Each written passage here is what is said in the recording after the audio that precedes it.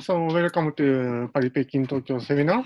So it's my great pleasure to introduce the last speaker from Tokyo, uh, Kenichi Bannai at uh, Keio University and RIKEN. So he will tell us today uh, Shintani generating class and the p-adic polylogarithm for total real fields. So please start. Okay. Thank you very much for the introduction and thanks for this opportunity to give a talk at this seminar. Yes, I think everyone probably says this, but it's my first time giving a seminar at Zoom.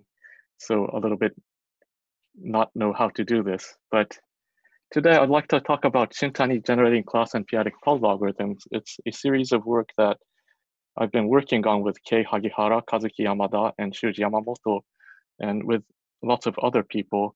And some preprints are on the arXiv, So if you're interested, then please take a look at those.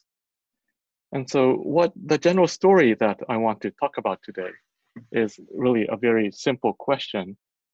In the case of the rational field Q, there was this rational function 1 minus t, which is related to cyclotomic units. And if you take the logarithmic derivative, you get t over 1 minus t, which is known to be related to Dirichlet L values. So there's one very good generating function in this case. And in the case of imaginary quadratic fields, there's the Robert theta function, which is related to elliptic units. And if you take the logarithmic derivative, then you get this theta dash t over theta t, which is known to be related to Hecke L values. So the simple question is, what do we have in the totally real field case? So do we have something that we can do? And what we want to talk about today is some generating function in this case, which gives Hecke L values. And we want this to be very, very canonical. And so what I mean by very, very canonical is, is so consider the case of the rational field. So this, this gt is a rational function on gm. And so there's this classical theorem which says that if you take the logarithmic derivative of this function k times and specialize at roots of unity, which is not one, because at one you have folds, then you get the special value of Lerch zeta functions. And so what is the Lerch zeta function? It is a function given by this form where z is some root of unity. So zn is just nth, nth power of the, the root of unity. And this function is known to have another continuation to the whole complex plane.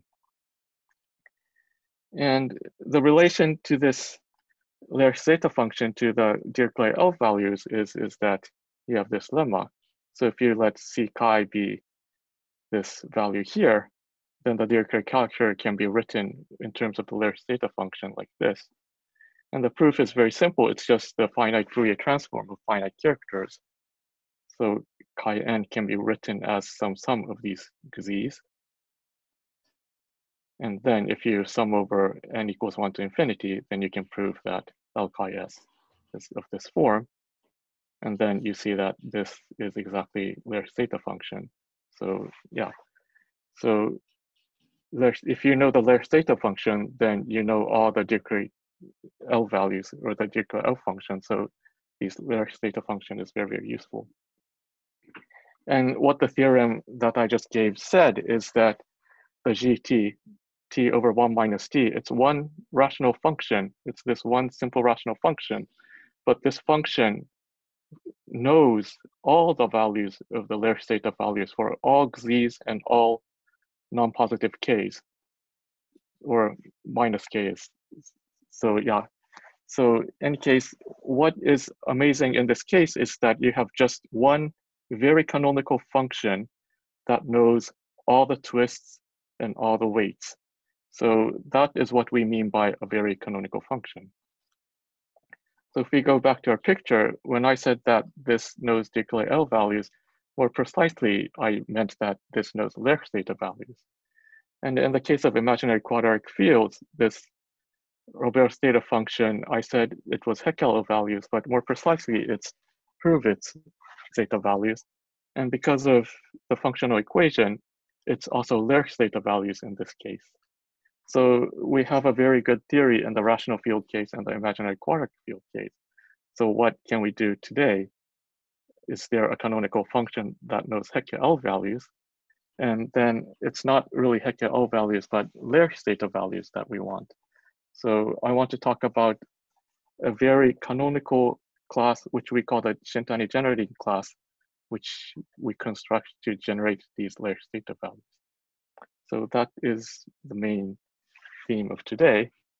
And of course, there's been lots of people who have been studying zeta function of totally real field. So our results based on old work by Shintani, it's sort of a reformulation of his work with some inputs from Barsky, Cassou-Noguès on construction of p-adic Hecke functions for totally real fields, and also observation by Katz using an algebraic torus.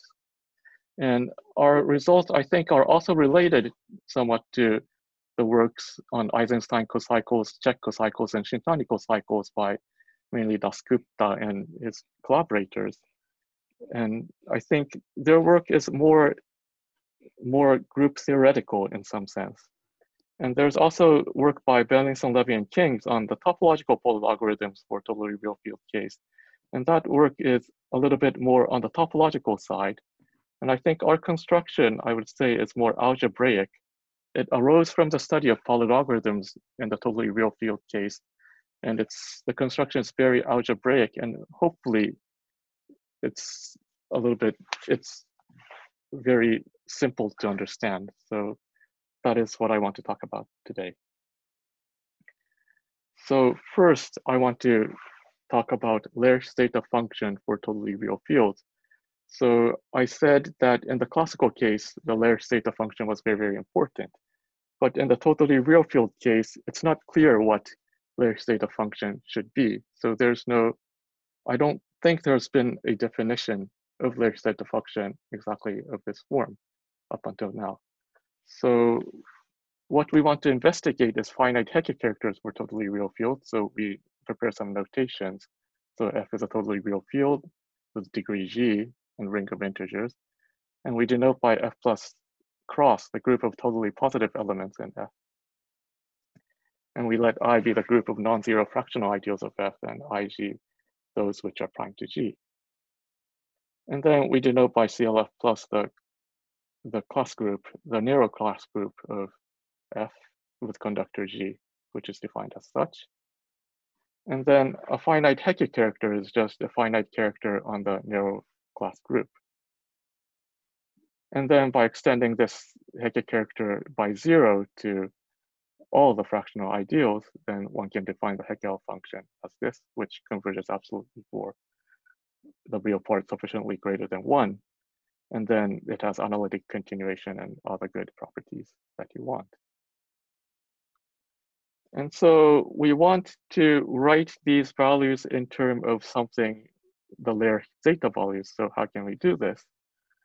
So, well, we can write it like this. Because there's a one-to-one -one correspondence between ideals and OF equivalent to A inverse and A I inverse alpha, where alpha is an element in the totally positive part of R, divided by the units, because if you multiply alpha by a unit, then it gives the same ideals. So dividing by this unit is really the difficulty in the higher dimensional case. Yeah, so this delta is the totally positive units, and you have to divide by delta, which gives lots of trouble. And so we have this function here, this character here on each uh, plus. So we denote this by chi a, which is given like this. So it gives a character on r divided by ge a. And then if we replace this by this notation, then we have this. So how how should the Lerch zeta function in this case look like? So copying the case of the rational field, we take C chi z to be the finite Fourier transform like this for some z, which is an additive character on R divided by R. Then finite Fourier transform gives this formula here, very similar to the case of the rationals. And so a naive definition of the Lerch zeta function would be is that one could try to define Lerch zeta function as the sum over these z alpha. But the problem we face with this naive definition is, is that, so you want to sum alpha over R, plus, but divided by the units. But the problem is this additive character z, this is not well defined modulo the units. So we have a problem here. And how to avoid this problem is actually very simple. So what we do is because z modulo delta is not so good, we take the delta orbit of z and add all the z epsilon. So the units act non-trivially on the characters. So we add over all the orbits of z and then consider this function. And then this function itself is well defined. So we define the Lerch zeta function to be of this form, like this. And this is a very simple, trivial point, but actually this has a very good interpretation in terms of geometry. So I want to emphasize what we're doing here.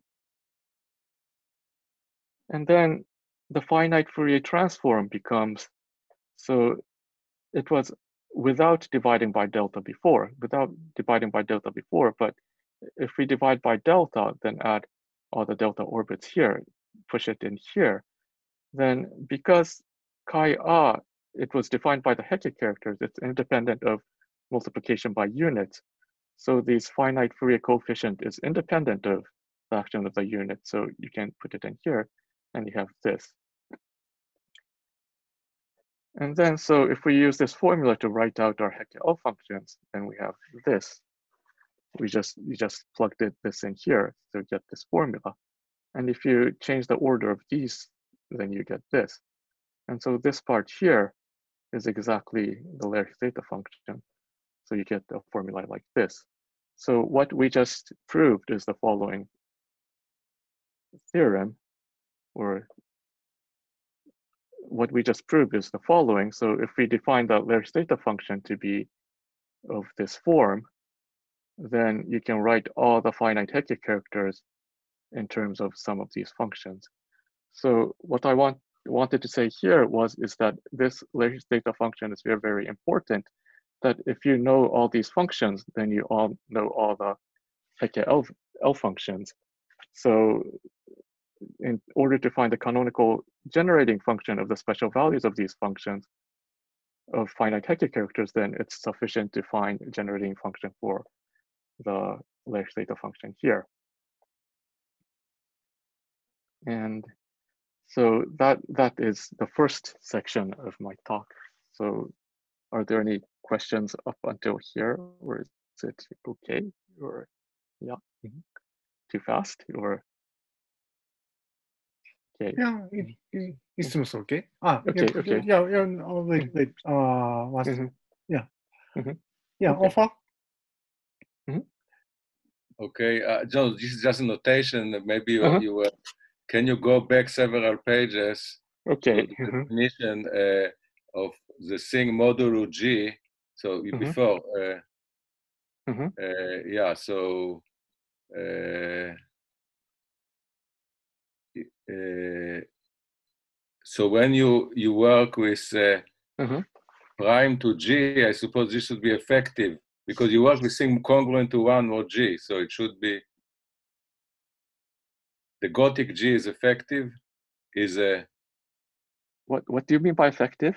No, no, G, the Gothic G. When you write Gothic fraction G. ideal A prime yeah, to yeah. Gotic G. Uh-huh. Right, right, right. Uh-huh. This is, a, uh, you say G first it was a fractionary ideal, but here it should be actually. Ah, right, right, right, right. Yes, yes, yes, yes. Okay, yes. Uh-huh. Okay, yes. Uh-huh.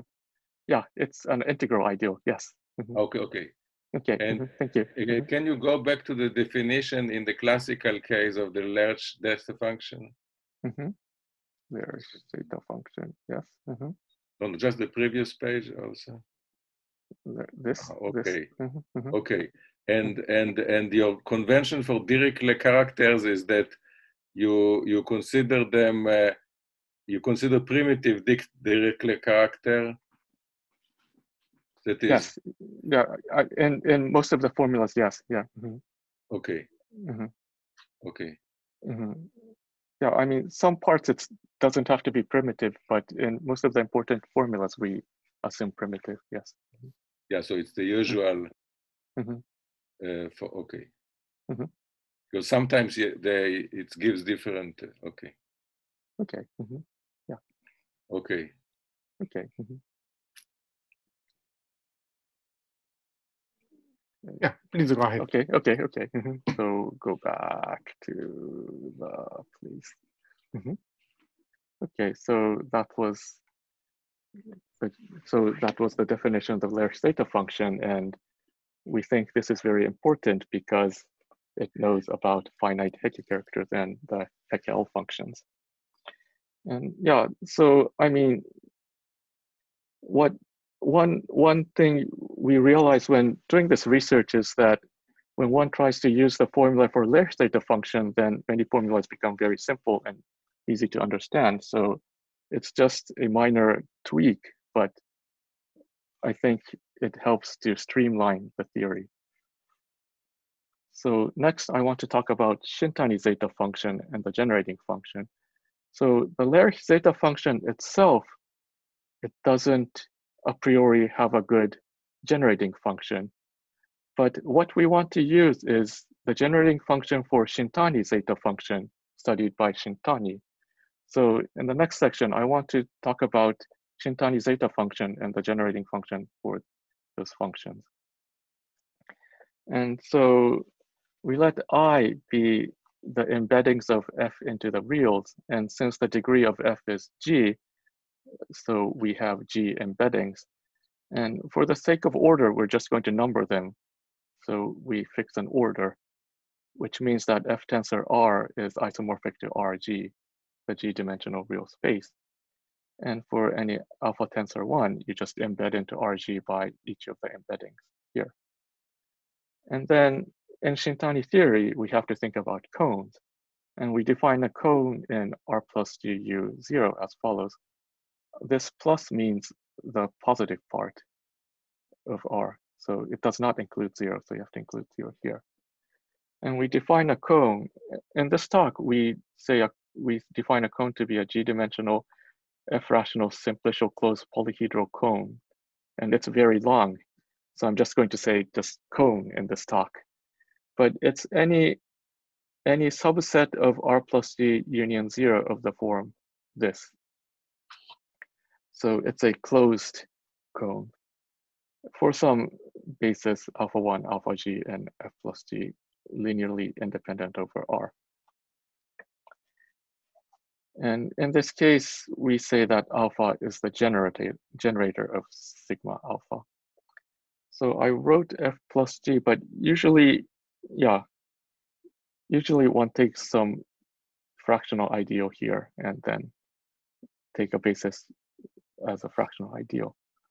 So what, so the Shintani zeta function, what it is, is if you take a fractional ideal ah, and for a cone and some torsion element of this additive character, we define the Shintani zeta function by this formula.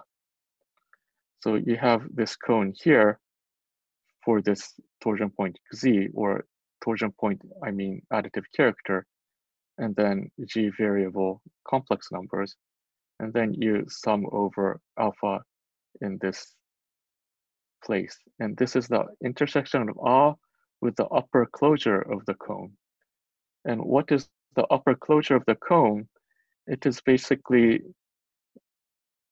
so you add some points on the cone and maybe if you're smart then this notation is sufficient for you but yeah when yamamoto-san first told me this i couldn't follow what he was saying so what the upper numbering is is for the case when the dimension is two so a cone is something in r2 so a closed cone is something like this.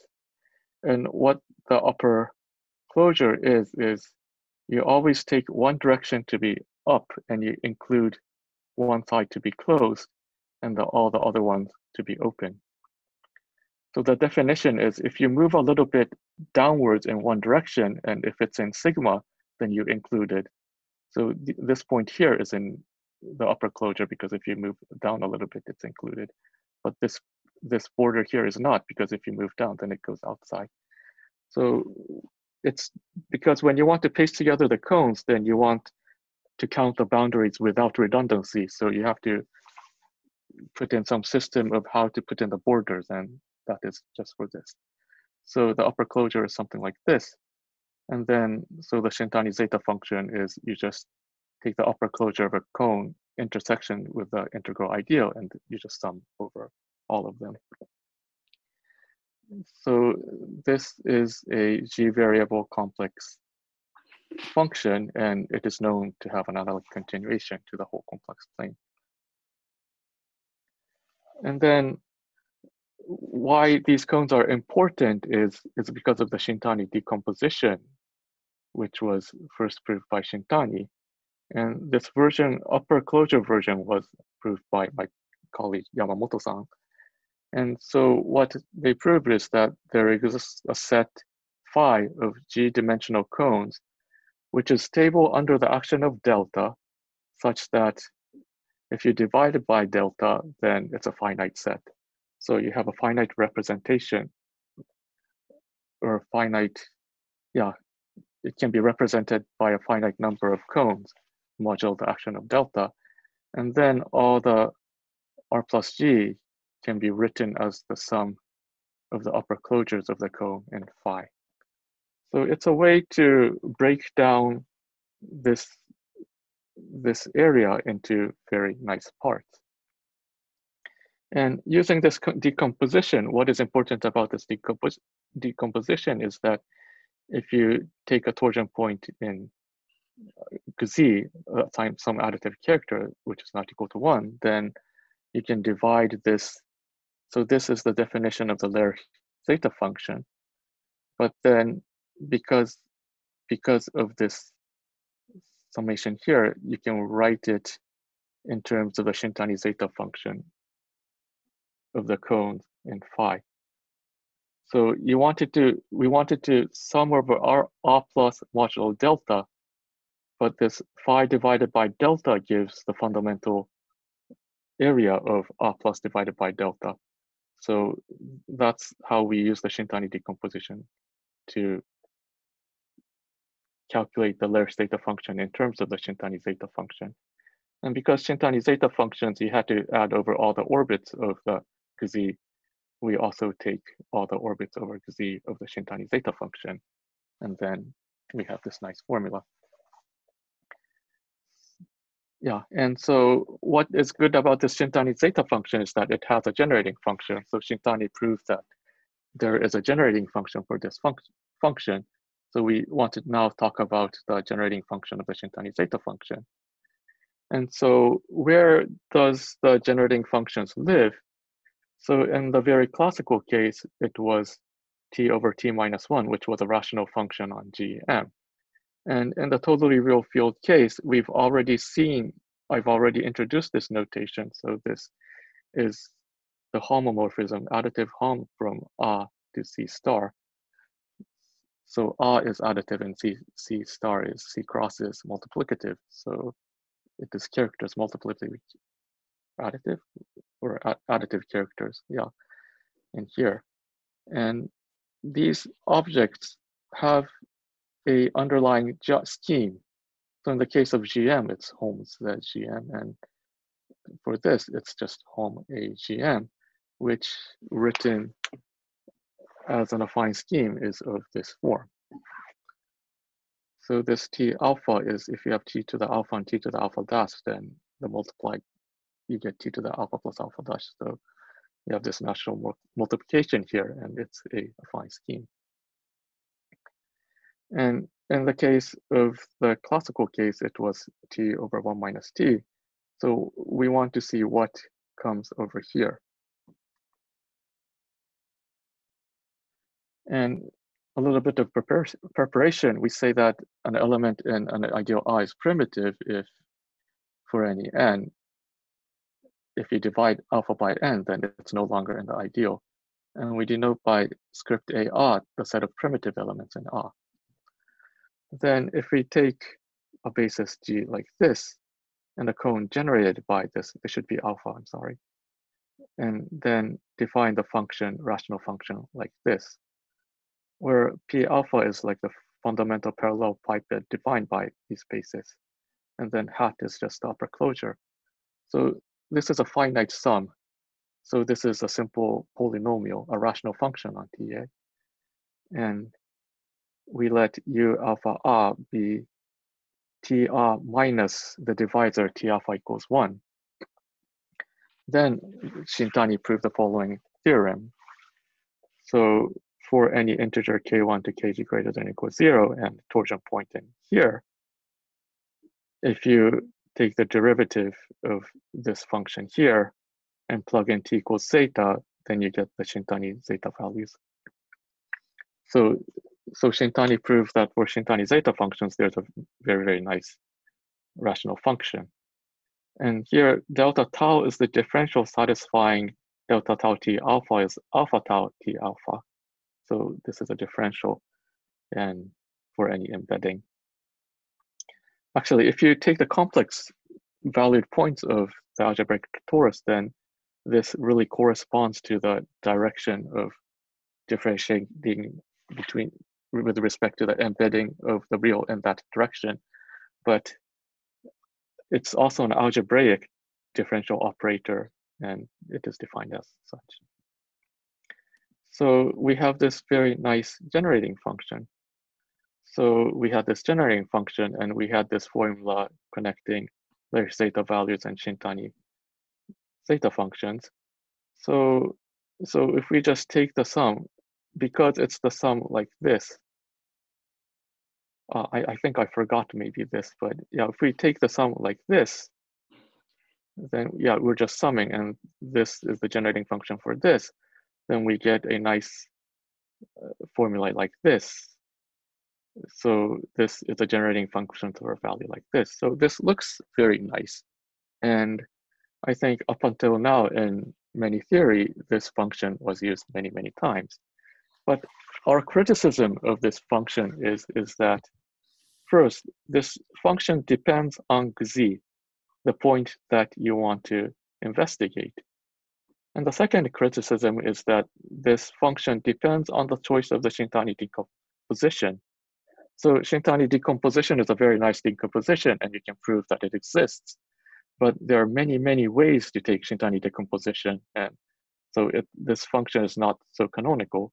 So these two things are something that we wanted to avoid in our research.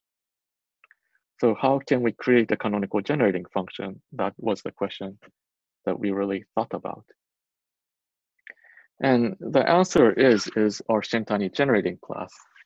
And so what we do is we use these functions to create a very canonical generating class, which really knows the values of all the Lerch zeta functions. And so, but to start, I want to define some actions on our torus, algebraic torus TR. So if you take any positive element f plus cross, then if you multiply by x, then you get trivially multiplication by x gives an isomorphism of OF modules R and XR. And this gives an isomorphism of algebraic tori TXR congruent to TR. And on the C-valued points, you can really see it explicitly. Uh, a C-valued point of this is, is a character from XR to C star, C cross. And then if you map this by X, then you get ZX, which maps R to C cross. But the definition of ZX is just you take multiplication by X on the inside. So it's a very natural map. And so if epsilon, so if x is an unit, then if you multiply a unit by an ideal, then you get the same ideal. So you get an isomorphism from TR to TR. So you have an action of delta on TR. But but more generally, we can take all the sum over all the TRs for all fractional ideals, then you can multiply by x and get an isomorphism like this. So you get an action of f plus cross on T. And one of our idea, especially when, when working on the case when the class number is greater than one, is that this T is really a nice guy to work with. And so we have an action of group on the torus. So we want to say a little bit about equivariant sheaves and cohomology of this object. So actually we don't work on T, but we want to work on U, which is you take out all the units from each of the components. And then U also has an action of F plus cross induced from the action of T. And an equivariant sheaf is so something, a sheaf on U, which is, has good properties with respect to the group action. So the precise definition is this. So for each X, you have an isomorphism, which is compatible with the composition. Compatible with the composition means that this diagram is commutative. So an equivariant sheaf is just a set of a family of sheaves on each of the components of UR which behaves well with respect to the group action. So you have an isomorphism here for each group element of the group X.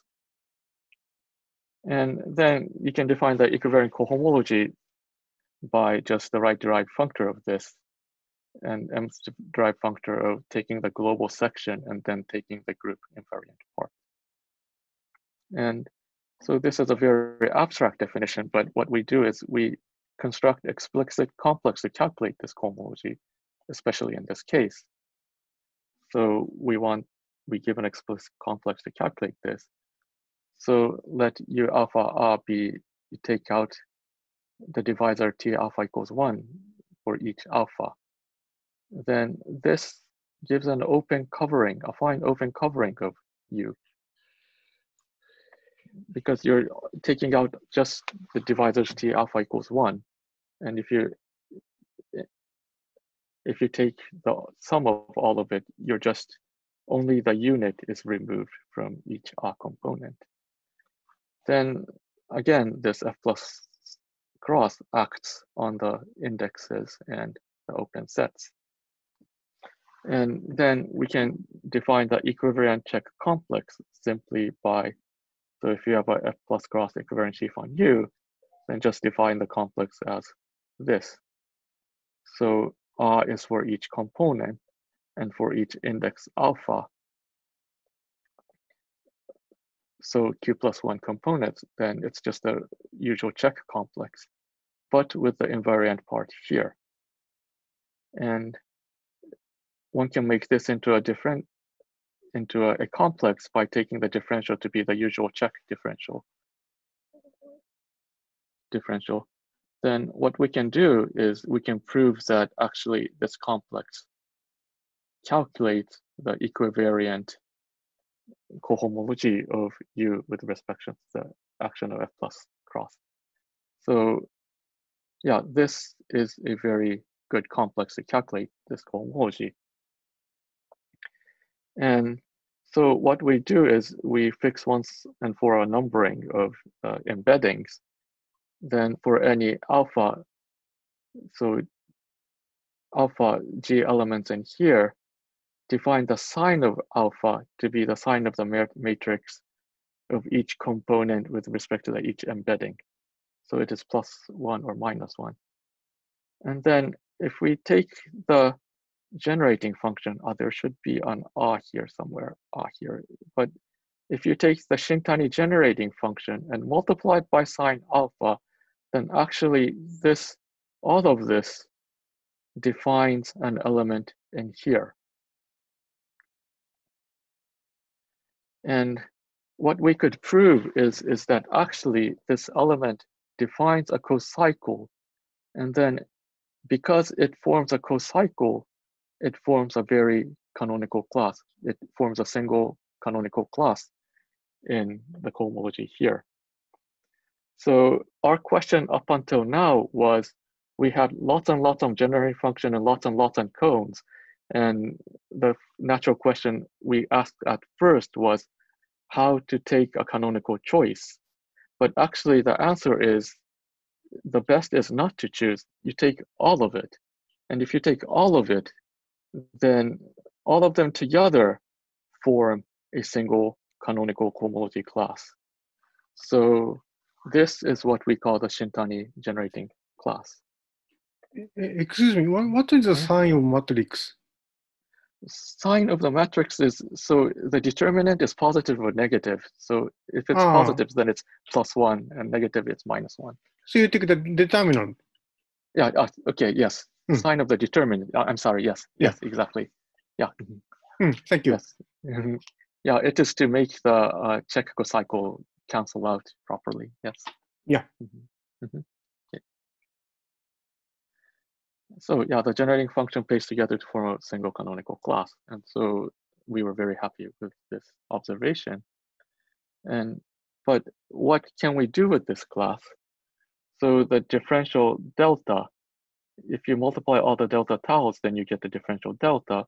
And this is a differential, but actually this induces a homomorphism on the equivariant cohomology because it induces a map on the complex.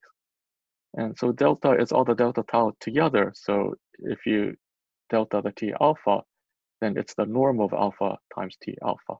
So it's a differential given by this. And what we could prove is as follows.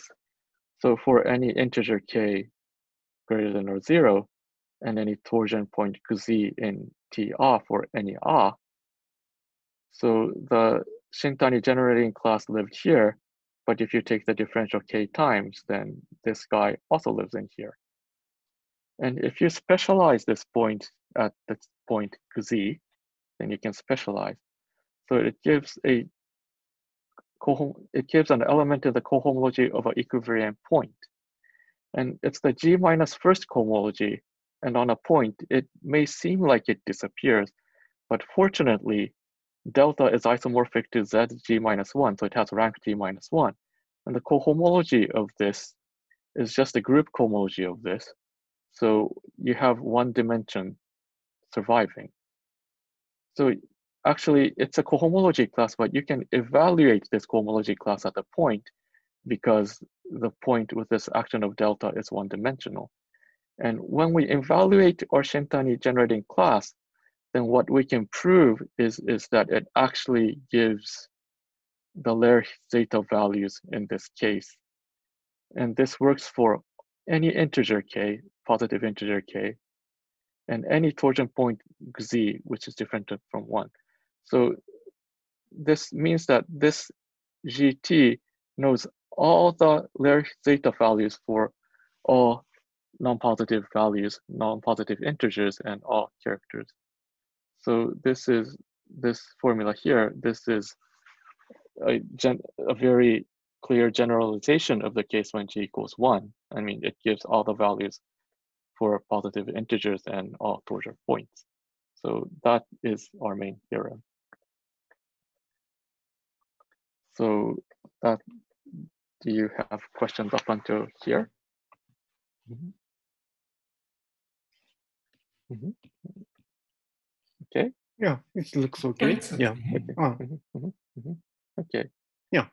So, so now I want to talk about p-adic polylogarithms because, I mean, I I like to study polylogarithms, and this research started originally from trying to figure out the polylogarithm in this case. And so our observation now allows us to define the p-adic polylogarithms very clearly in this case. But we want to talk about the p-adic case, so we fix an embedding of q bar into C and q bar into CP, the usual embeddings. And we let K be a finite extension of QP containing the Galois closure of F. And so uh, this is a little bit complicated, but what we're doing is just thinking about the rigid analytic spaces associated to what we just used so far up until now. So A is just the OK version of the ring of TR, then you take the affinoid space attached to this. And then you remove T alpha minus one and take the affinoid space. So these are all p-adic affinoid spaces. So what we're doing is, so we're not just removing the point T alpha equals one, but we're removing the residue disk around T alpha equals one, but still um, it's some p-adic analytic space. And then, yeah, then UK had R, you just define to be the sum of all these. You take uh, residue disks out, then you then you take all the union. And then you is this union over all the fractional ideals. So you have this p-adic analytic ring. And then what we could prove is that for any fractional ideal R in of F, and for any integer K and cone sigma, if we define this polynomial by this sum, it is very similar to the sum that we use for the generating function, but we have this here. We remove, we consider only the alpha in A tensor ZP star.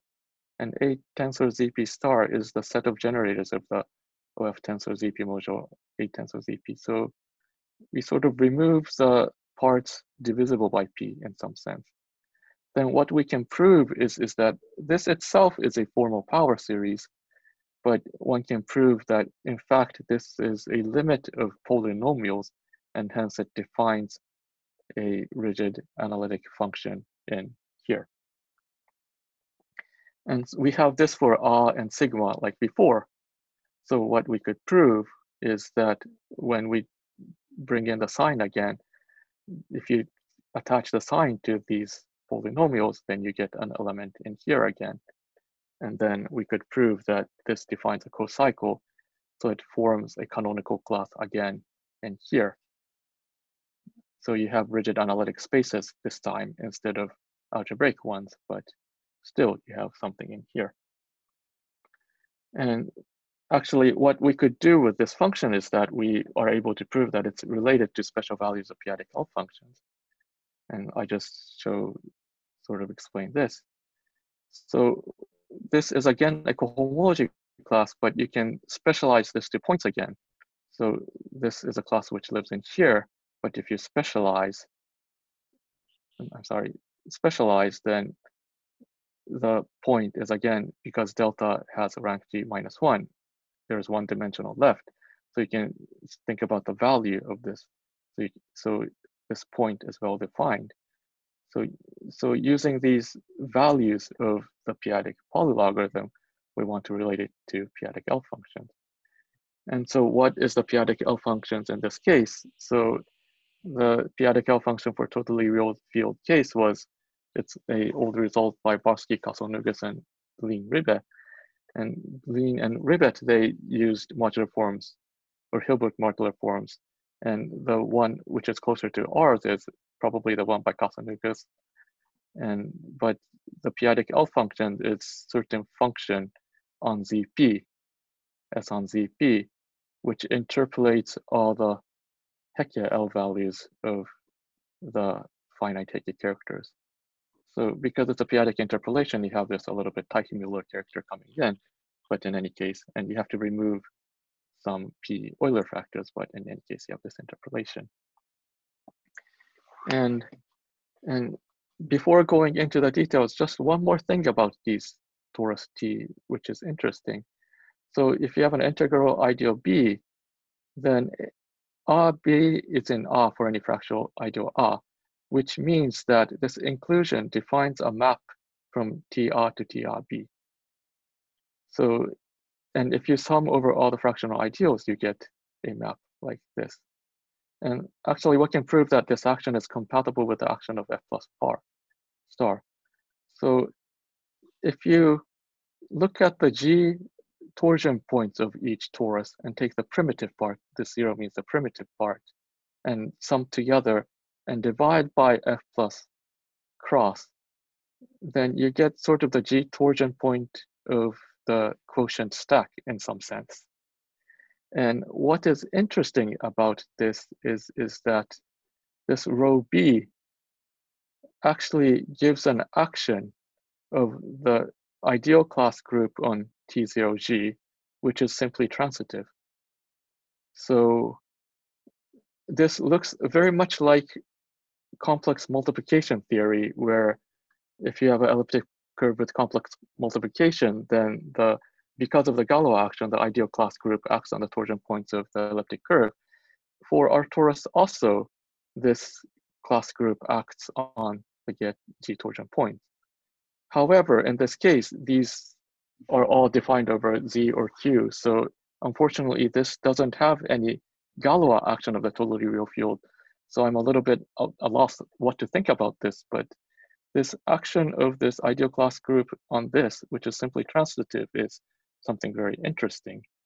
And so for if if you have a element G torsion point Xi in TIG, then we denote by Xi B the image by rho B like this. And so the result concerning p-adic L function is as follows. So suppose G does not divide any power of P. So G is an integral ideal, as Ofer said, which does not divide any power of P and let Z be an arbitrary primitive G torsion point in here. Then for any integer K, we have this formula. So the value of p-adic L function at any integer can be written as a sum of a Gauss sum, some Gauss sum, and the points of the p-adic L functions here. So this is a very natural generalization of a result by Coleman in the case when f equals q. He proved that the classical p-adic polylogarithm function can be used to write the Kubota-Leopoldt p-adic L functions, but using our p-adic L function or using our p-adic polylogarithm, we could prove we could prove a very similar result in this case.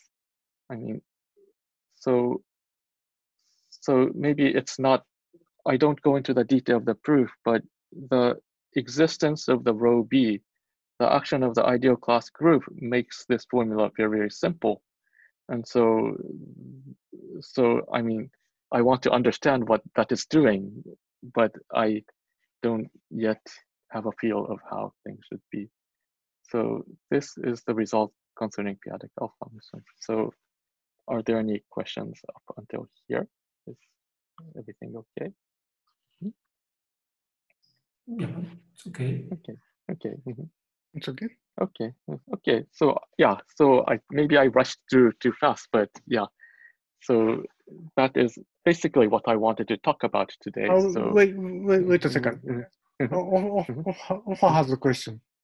No, yes. I just, I just wanted to see again the mm. the the formula where you had something with primitive points acting. I didn't quite catch the mm -hmm. the what is just the, all the notation and so on. Mm. So I mm. uh, so mm-hmm. this is what uh, A runs over. Uh, the fractional ideals of F. All the non-zero fractional ideal. Yes, yes, yes. Mm -hmm. Okay, and mm-hmm. so -hmm. this then will permute. Ah, okay, then and then gives an action mm -hmm. On this, which is simply transitive. Ah, okay, this is not difficult mm-hmm. to see. Okay, thank you. Mm-hmm, okay. Yeah. Okay. Okay. Mm-hmm, mm-hmm. Right. Mm-hmm. Yeah so yeah so yeah this this object has an action of this okay. yeah it's it's not difficult to see you're right yeah okay okay yeah. thank you okay mm-hmm. yeah okay so yeah so the conclusion is so what so i guess i talked about what i wanted to talk about so what we did was we newly defined the Lerch zeta function for real fields. And so what we did was we did not just take the point, but we took the delta orbit of the point to define it, and it gave a very nice function. And then we constructed the Shintani generating class as a canonical class and cohomology of a certain algebraic torus with an action of f plus cross And then we were able to prove that it generates all the non-positive special values of Lerch zeta functions for all non-trivial finite characters.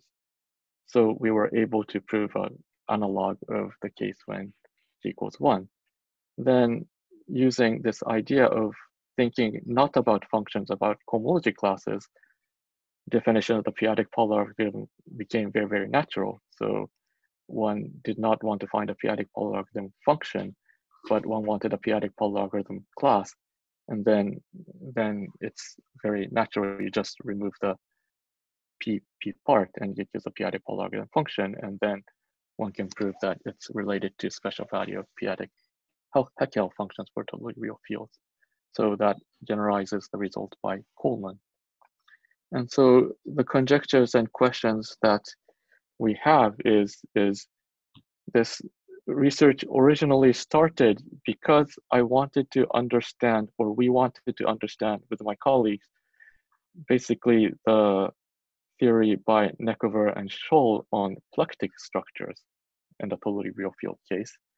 And we wanted to find good examples of varieties with plectic structures that we could work on. And it seems that this algebraic torus seemed to be a very good candidate. And so we yet don't have a good equivariant plectic polylogarithms theory or Hodge theory or things like this. But uh, because of our calculations, we sort of conjecture that the specialization to torsion points of the equivariant plectic, I should say Hodge, Hodge the real Hodge realization of the equivariant plectic polylogarithm for T should be related to positive values of our Lerch zeta functions. So in the case when f equals q or g equals 1, the Lerch zeta functions are in fact the special values of polylogarithm functions. And I guess this should be the natural generalization would be is that the polylogarithm function specialized to torsion points should give Lerch zeta functions, special values of Lerch zeta functions. And also, in the Hodge case, we have no idea how to do the calculations. In the syntomic realization case, we are not able to make the theory work just yet, but we have lots of p-adic differential equations and calculations. And it seems to be that the syntomic realization of the equivariant plectic polylogarithm for T may be expressed using our p-adic polylogarithms. So today I just introduced a version with just one integer k, but in fact one can do a plectic version where you have g weights, and then these g weighted polylogarithm function seems to describe the syntomic realization. So in level of calculations, I think we have some results, but we are not able to fit it into a formalism just yet. So I'm curious how to how things should go. And finally, this stack. So taking t to be all the sum over all the fractional ideals, then dividing by f plus star, the g torsion points of this stack so maybe a G-torsion point doesn't make sense, but if you sum over all the G-torsion points, then it gives something with a natural action of the ideal class group. So this sort of looks like complex multiplication theory, but without Galois action. So I don't know what is a good way to think about this. If one could define some F structure on this, I don't know if this makes sense on this object. And then if there is some way to put in a natural Galois action structure and make it compatible with the action of the ideal class group, then can one do something with with so yeah Kronecker's Jugendtraum or how how mm. to yeah yeah so yeah I I don't have any ideas but I'm curious to see how this can go so I think that's what I wanted to say today. So thank you very much for your attention. Mm-hmm. Yeah, thank you very much. Mm-hmm. Thank you. Mm-hmm. So, uh, so you discussed on this uh, L, uh, L value. So, uh, this L value can be regarded as uh, the constant term of Eisenstein series. So, mm -hmm. in, so can, can I imagine that your your Rahi uh, zeta function can be some constant term of something? Probably yes, yes. Mm -hmm. Yeah, I I haven't really thought about this, but I don't know what the right framework is. Some maybe Hilbert modular mm. thing, and then yeah, you degenerate to the cusps, then you get these torus, and yeah, yeah. I I don't know, but I would imagine something like this. Mm -hmm. Yeah. Mm -hmm. Oh, that would be interesting. Mm -hmm. Thank you. So, are there more questions? I, I think I yeah Ofer raise his hand, and I think also another participant, uh, mm -hmm. Zhao, mm -hmm. raise his hand. Mm -hmm. Okay. How how how do I see? Do who gets to see who is raising? You cannot hands? see. Probably we only can see. So maybe Ofer, and then uh, yeah. No. Okay. So again, I asked to to show me uh, again the the point where you discussed the the the computation using certain kind of check or cycles I, uh-huh, of the uh-huh. equivariant cohomology. So this, yeah. uh, so Maybe just this, yeah. I want, uh-huh. I want just to again the Mm-hmm. notation. So you you uh, you take the torus modulo uh, for any uh, uh, for all you mean for all you mean uh, Mhm. T alpha equal one for any means for all? No. Uh, this is the What is notation, and AA? here, here, yeah, here for all, for all, yes. No, no. But When what you- what is uh ah, ah okay, this is for some Uh-huh. okay, so okay no. Mhm. This is Uh, just a notation for one, and then this is the covering. And can you show the definition of AA? A, A is the primitive element in A.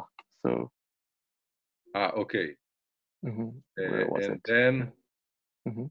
okay. Mhm. Uh, and then uh, Mhm. uh, okay, this is only non-zero. Mhm. Uh, and then uh, okay, so there is no fix. So everything, all the action is free. So there is no because you repeat. Right, right, right. mhm. Okay, the action is free, so there is no problem. Okay, Right, exactly, exactly. That's how you prove, yes. mhm. O- o- okay. So, Mm, so mm, thank you. I just uh, I was confused. I thought that you you had Mhm. some. Uh, okay, it was not. Uh, Mhm. Okay. Thank you. Yeah. Okay. Uh, ah, yes. Yeah. So Mladen, Yeah. you can ask. Yeah. Uh, Muradem? Yeah. Can you hear me? Yeah. Go ahead. Uh, uh, thank you for your talk. I just have a question. It's a little bit of a follow up of uh, the question. So uh, you have this interpolation formula, which is the u- usual formula for a p-adic L function of um, the linear Ribet L function. So um, so sometimes um, you can have an exceptional zero uh, if you can show the formula. Um, Mhm, um, mhm. Um, oh, oh, yeah. So, so, so for um, well, in your normalization, that's for uh, yeah, k equals zero. So, for example, if um, if the character is trivial at p at Gothic at many Gothic p's, it has a multiple Mhm. zero. That's Gross conjecture. Um, Mhm, Uh, mhm, mhm. These derivatives at zero has been studied, but I mean because your formula later is true for all k, right?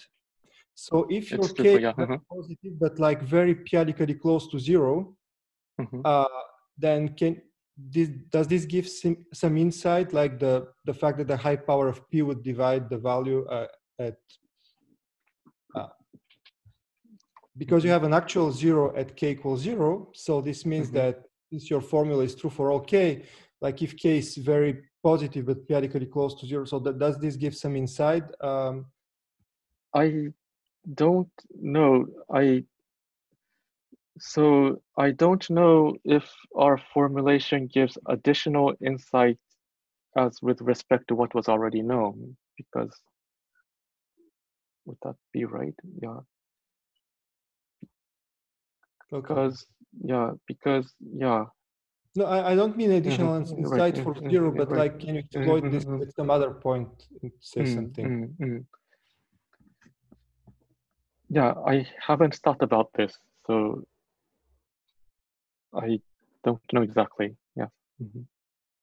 Thanks. But, yeah, thank thank you for the question. So yeah, so what what kind of problems are interesting in this direction? So Well, what's interesting to me is, Mhm, is mhm, related to what mhm. Takeshi act, uh, asked. I mean, this this uh, Pierre function is a constant um, term of an Eisenstein series. right, right, So, right, right, for right. yeah, example, mhm, it's uh, zeros are related to some, uh, for example, interesting phenomenon on the eigencurve and things like this.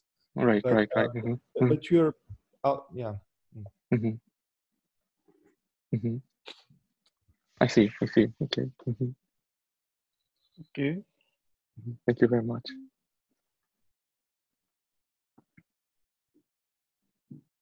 Okay, so please go ahead. Uh, Abdul Majid?